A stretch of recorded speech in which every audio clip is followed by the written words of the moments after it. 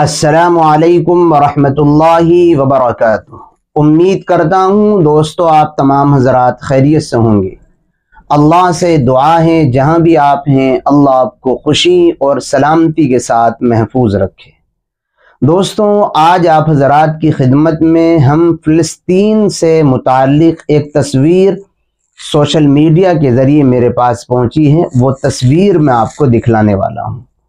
आप हजरात ये तो जानते ही हैं कि फ़लस्तीन में इसराइल जालिम की जानब से पिछले चंद महीनों से इंतहाई दर्दनाक और अजियतनाक जुल्म और जबर किया जा रहा है।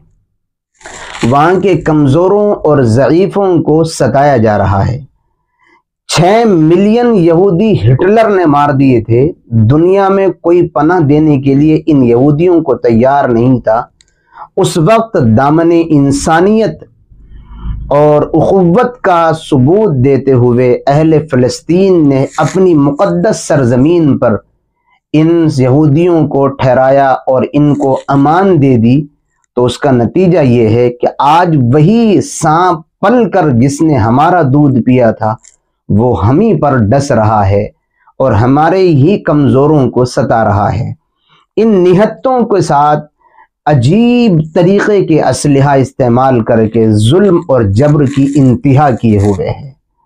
हैरत होती है इतनी बड़ी दुनिया की ताकतें तमाम की तमाम जालिम की सपोर्ट में खड़ी हैं और मज़लूम निहत तक कमज़ोर है।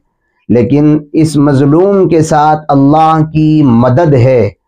अगर अल्लाह की मदद न होती, अल्लाह की नुसरत न होती तो इतने बड़े जालिम और जाबिरों के सामने बिना तैयारी के, बगैर मज़बूत ताकत और क़वत के, ये कमज़ोर कभी नहीं टिक पाते।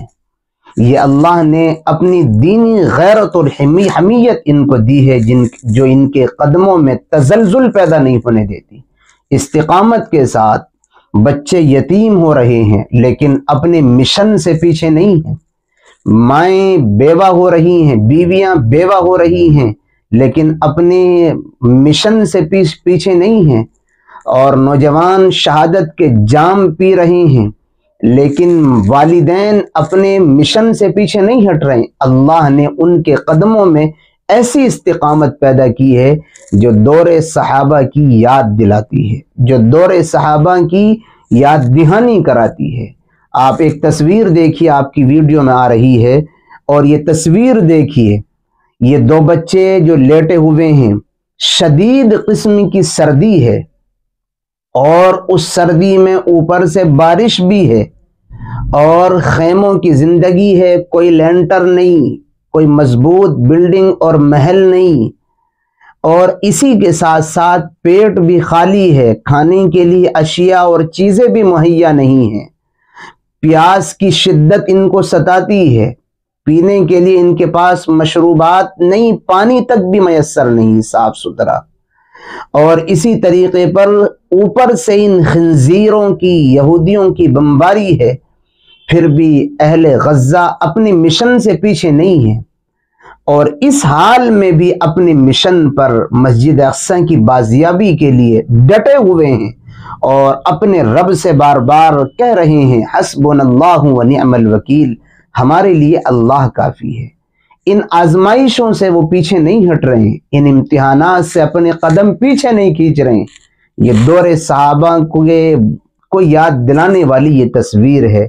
इसलिए मैंने आपकी खिदमत में ये पेश की है ताकि हमारा ईमान ताज़ा हो, यकीन को क़वत मिले, ईमान में तकवीत पैदा हो और कभी भी अल्लाह की जानब से हमारे ऊपर आजमाइश और इम्तहान अगर आए तो इन नौनिहालों की तरह और फ़लस्तीनियों की तरह, गाज़ा के मुसलमानों की तरह, हमें भी अपने आप को इसी तरह इस्तकामत के साथ हालात में जमा रहना चाहिए।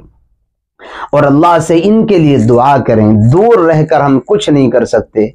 लेकिन मेरे भाई, दुआ एक ऐसा हथियार है कि अगर सदाकत के साथ दिल जमई के साथ, इखलास के साथ लाहियत के साथ और उखवत और भाईचारगी के वास्ते के साथ अगर हम फ़लस्तीनियों के लिए मन्नत समाजत करके अल्लाह के हुजूर दो आँसू की लड़ी बहा करके दरख्वास्त करें, गुजारिश करें, अल्लाह को राज़ी करके उनकी मदद की तो फिर कोई मुश्किल नहीं है। अल्लाह उनकी तमाम के तमाम मसाइल को बग़ैर आजमाइश और इम्तिहान के भी हल कर सकता है। इसलिए दूर रहकर मस्जिद अक्सा के लिए, तमाम दुनिया की मसाजिद के लिए, पूरी दुनिया के मोमिन के लिए दुआओं का अहतमाम करें और ऐसे ऐसे जो वाक़ात और तस्वीर सामने आ रही हैं, उनको देख कर उनके लिए खसूस अल्लाह से दुआ करें और अपने दिल में इस्तकामत पैदा करें और अपने ईमान को ताज़ा करते रहें। असलकम वरहमल वर्का